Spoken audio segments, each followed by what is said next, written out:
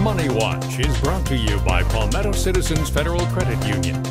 Welcome to the February edition of Money Watch and very important topic this month. We're talking about fraud and identity fraud specifically, something that everyone that lives in South Carolina it's a real reality for. That's where we turn our attention now to Tim Young from our friends at Palmetto Citizens Federal Credit Union. And Tim, it's one of those things you never think can happen to you, but the reality is it has happened to us here in South Carolina.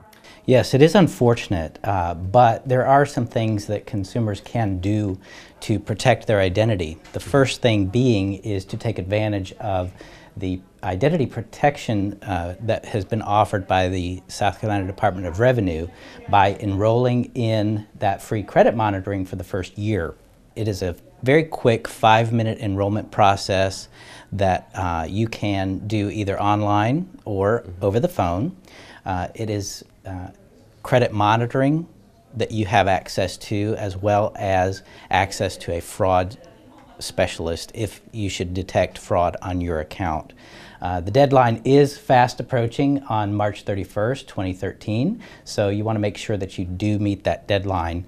Um, and also, if you have dependents that were on your tax returns, you definitely want to enroll them in the Family Secure so that you can keep an eye on their credit as well. Let's talk about that deadline. What happens if I miss that deadline in March?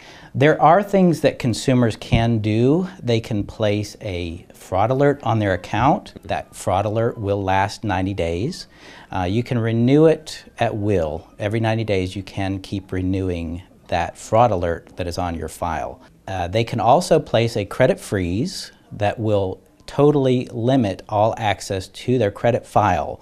Uh, that cannot be removed until the consumer actually calls to uh, remove that from their credit file.